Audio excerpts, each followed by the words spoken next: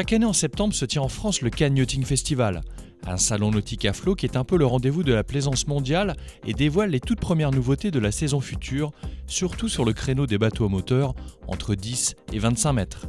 Dans un marché qui devrait progresser de quelques 5% en 2016, le groupe tricolore Beneteau tire son épingle du jeu à l'image de sa gamme Prestige. Prestige et sa nouveauté du moment, la 680 Fly, une vedette qui reprend les codes stylistiques de la 750, signée par le cabinet italien Garoni Design.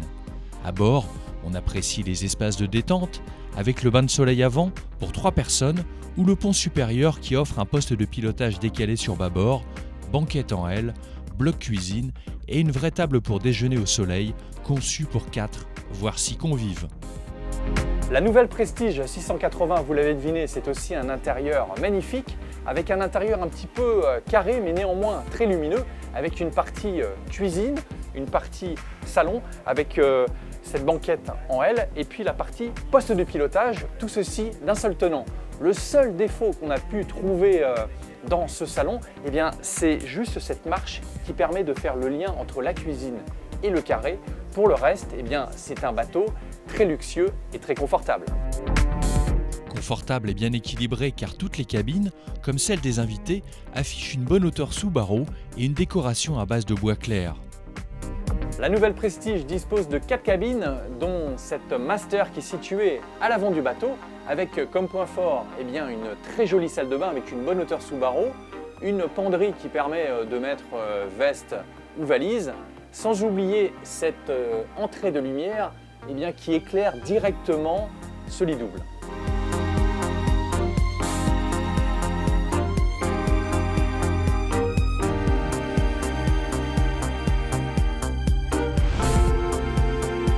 Côté moteur, la Prestige 680 embarque deux Volvo Penta IPS 1200, soit 2 fois 900 chevaux en puissance.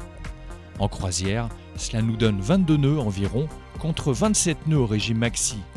Et question autonomie, la Prestige devrait atteindre les 500 000 nautiques à 12 nœuds. Moderne, véloce et bien aménagée, la vedette tricolore devrait se faire une place au soleil d'autant que son prix d'environ 1,5 million d'euros hors taxe semble bien placé entre guillemets face à ses concurrentes italiennes ou anglaises.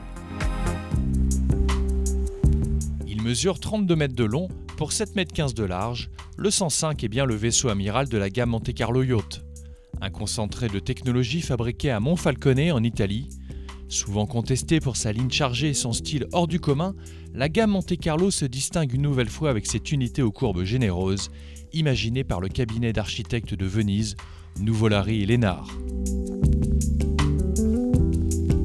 La MCY 105 étonne avec ses nombreux hublots posés de manière un peu aléatoire, à la manière de gouttes d'eau.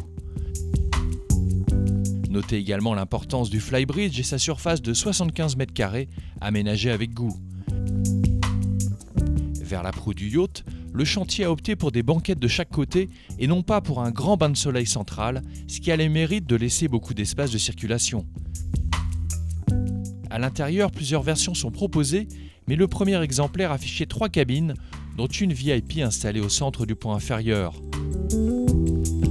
Un mot enfin sur les performances du Monte Carlo qui atteint les 25 nœuds avec ses deux moteurs MTU développant chacun 2434 chevaux. Atypique et dotée d'une forte personnalité, la MCY 105 a déjà séduit un acheteur d'origine asiatique pour une somme comprise entre 9 et 11 millions d'euros.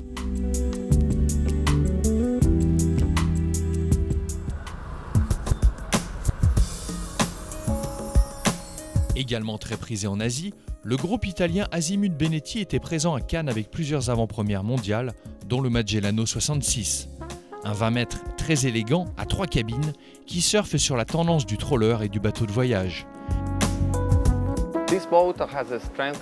Ce bateau a une caractéristique majeure qui est la forme de sa coque.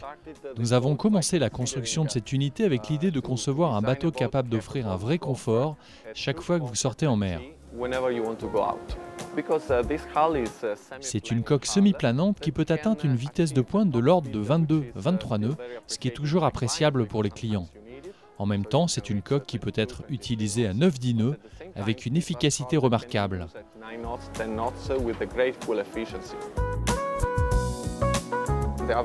L'autre point pertinent pour les clients, en particulier pour la femme et les enfants, c'est un bateau spécialement étudié pour la famille, où l'on peut se déplacer librement tout autour en se sentant très en sécurité et protégé.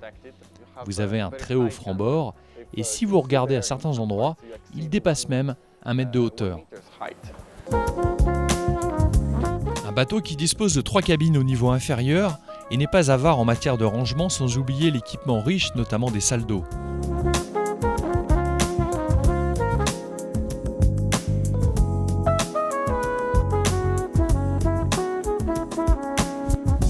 Enfin, question propulsion, le Magellano 66 dispose de deux moteurs Volvo D13 en V-Drive, soit 2 fois 800 chevaux en puissance.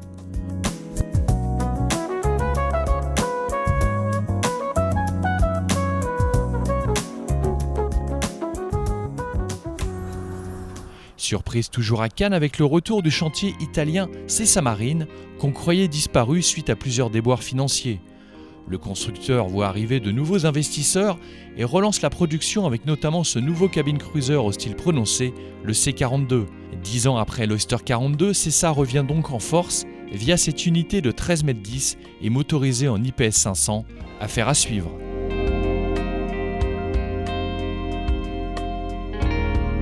Nouveau venu sur le marché du troller moderne, Sandek Yacht a profité du salon pour lancer la 550, premier modèle d'une gamme de bateaux entre 17 et 21 mètres. Outre l'espace de vie de son flybridge, le Sundeck 550 étonne par la qualité de sa finition au top de ses quatre cabines et son esprit avant-gardiste.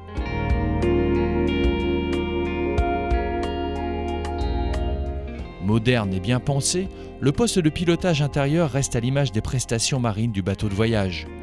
Propulsé par deux moteurs de 570 chevaux, le Sundeck 550 est capable de dépasser les 24 nœuds à plein régime tout en restant dans l'esprit d'un troller pour de longues traversées au long cours.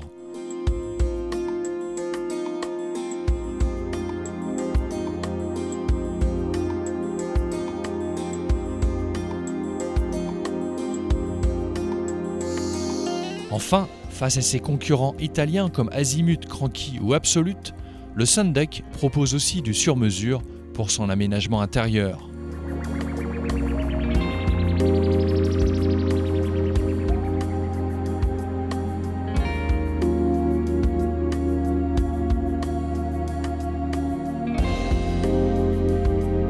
Figure emblématique du motor yacht européen, Princesse ne pouvait manquer Cannes, d'autant que 2015 marque une étape très importante pour le chantier britannique.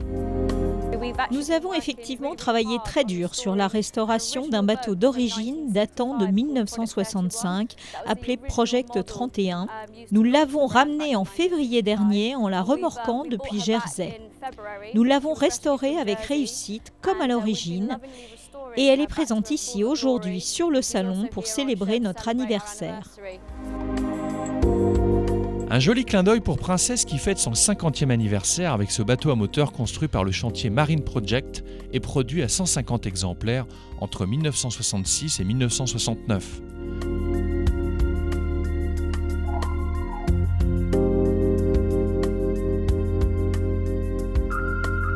Retour en 2015 avec côté nouveauté du très lourd en débutant par le 35 mètres et enfin le 68 Fly qui dispose de 4 cabines et d'importants espaces de vie à l'extérieur.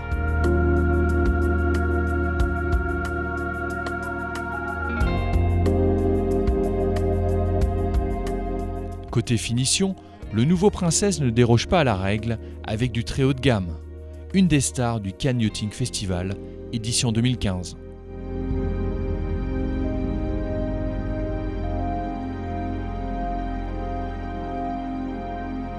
Le Cannes Yachting Festival est très important pour la marque Princesse, car nous avons un bureau sur la côte d'Azur. C'est l'un des plus grands salons en Europe, à notre sens, avec Londres et Düsseldorf, et nous sommes vraiment heureux d'être ici. C'est un marché très important pour nous. On l'oublie souvent, la Turquie appartient au top 6 mondial des constructeurs de yachts. Créée il y a une quinzaine d'années, Newmarine appartient à cette nouvelle vague de chantiers qui combine tradition, modernité et qualité de fabrication.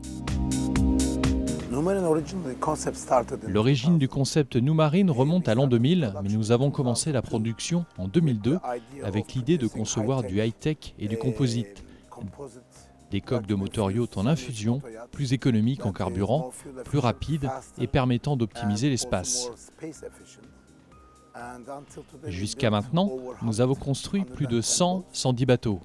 À l'heure actuelle, nous fabriquons autour de 8 à 10 unités par an et dans le même temps, la taille moyenne de nos bateaux est passée de 55 pieds à maintenant 80-85 pieds en moyenne.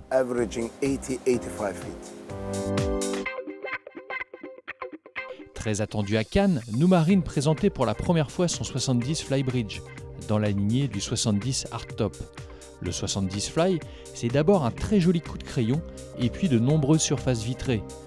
Bravo au pont supérieur qui inclut un coin repas, un bar et une surface de bain de soleil.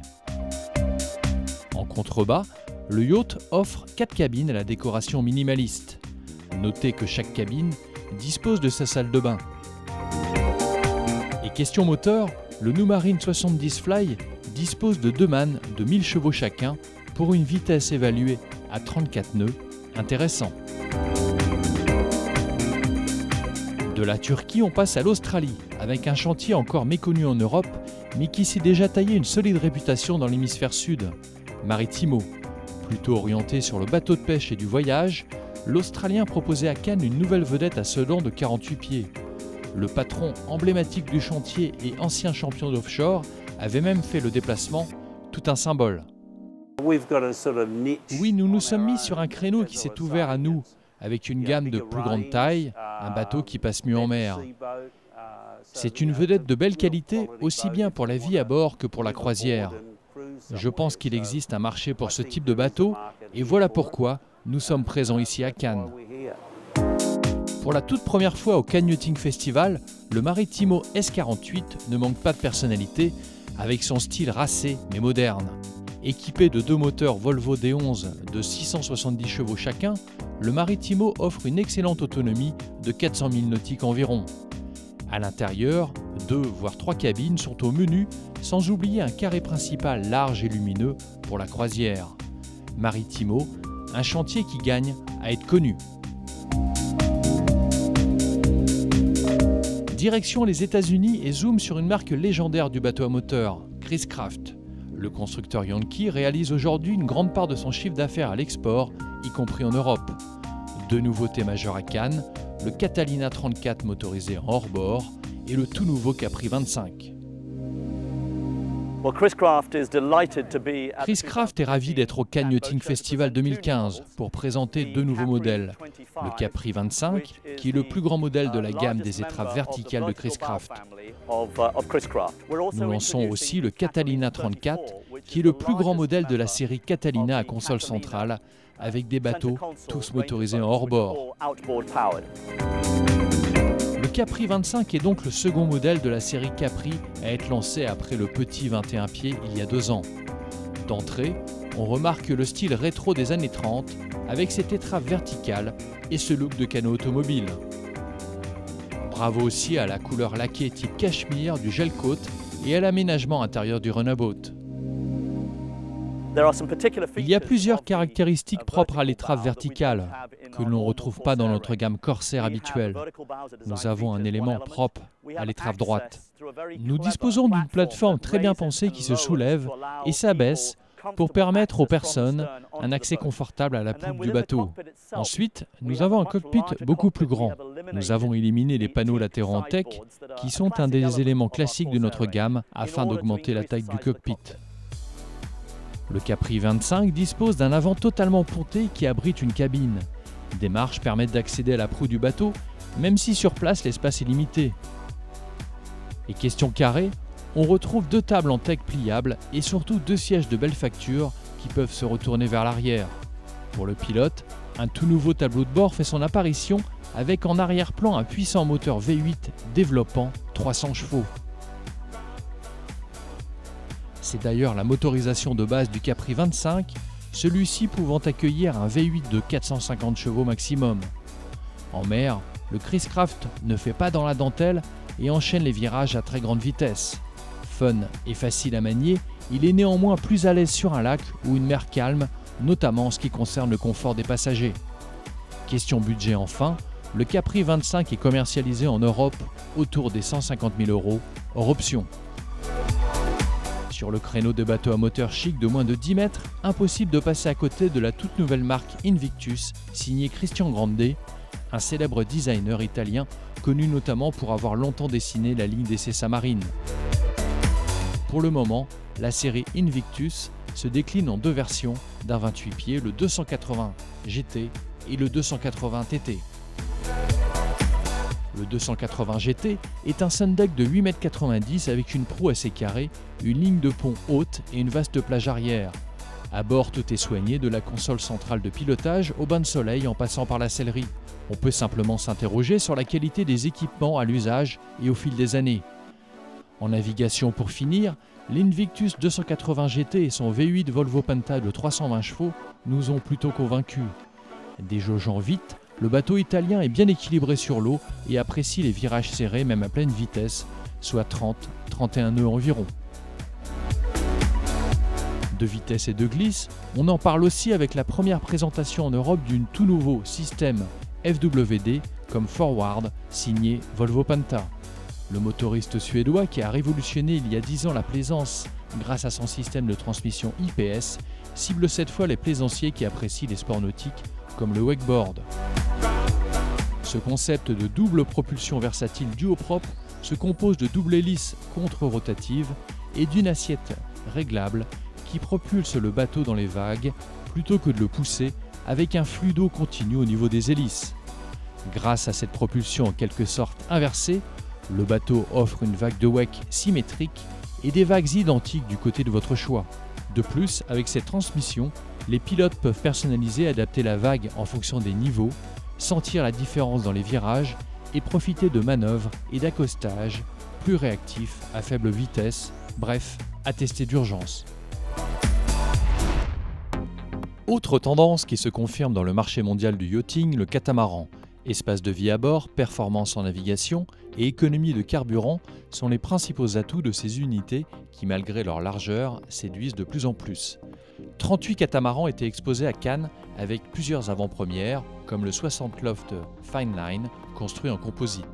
Sunreef Yacht, un chantier installé en Pologne et créé par un Français, se renforce également dans le catamaran en moteur, avec deux unités à Cannes, le 60 Power Océan et le 70 Power. Le 60 Sunreef mesure 18,29 m pour 8,50 m de large contre 21,34 m et 9,30 m de large pour le 70 pieds qui est le premier modèle de kata à moteur introduit en 2008 par le chantier polonais. Dans tous les cas, Sunreef privilégie le concept du semi-custom, à savoir des unités imaginées en fonction des souhaits du propriétaire, notamment et surtout au niveau des intérieurs. Ces catamarans à moteur se distinguent d'ailleurs par des décorations assez ostentatoires et high-tech. Visite à bord.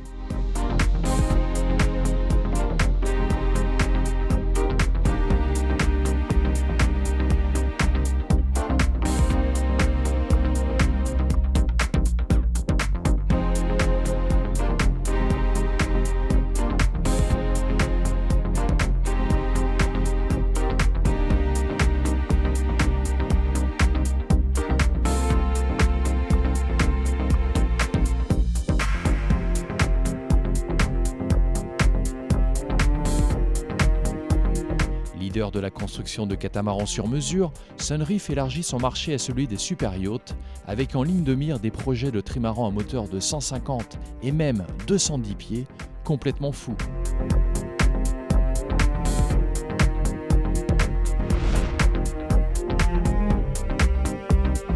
Autre acteur spécialiste à 100% du kata, Fontaine Pajot vient de lancer deux nouveaux modèles voile et moteur.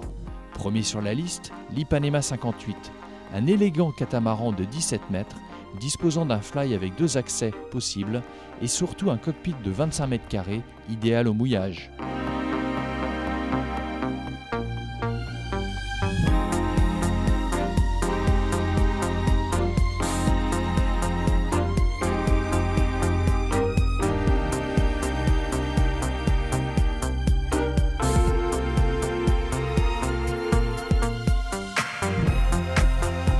Plusieurs versions sont possibles, dont un aménagement propriétaire avec une suite plus 4 cabines invitées, sans oublier une version charter à 6 cabines.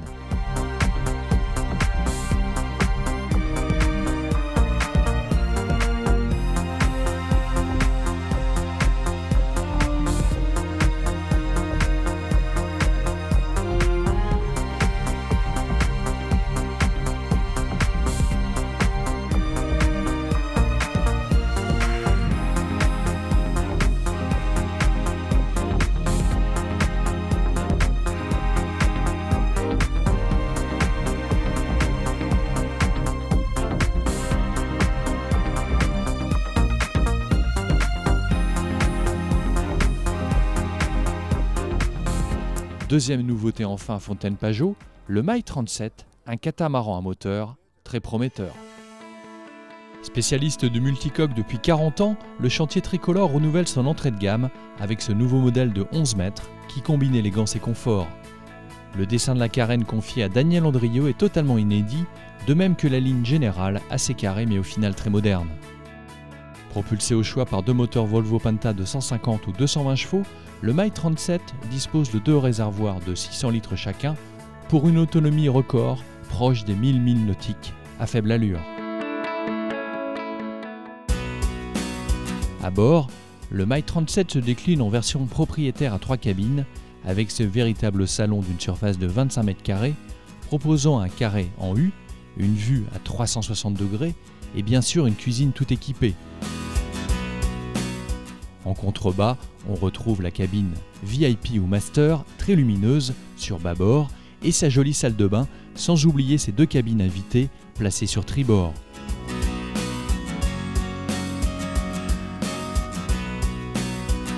On regrette juste le nombre limité de rangements. Question croisière, le My 37 prend encore toute sa dimension côté confort par rapport aux vedettes monocoques avec son vaste flybridge et son pont avant à la fois large et pratique. Au niveau équipement, notez cette option plateforme immergeable facturée aux alentours des 34 700 euros, cher payé mais génial au mouillage.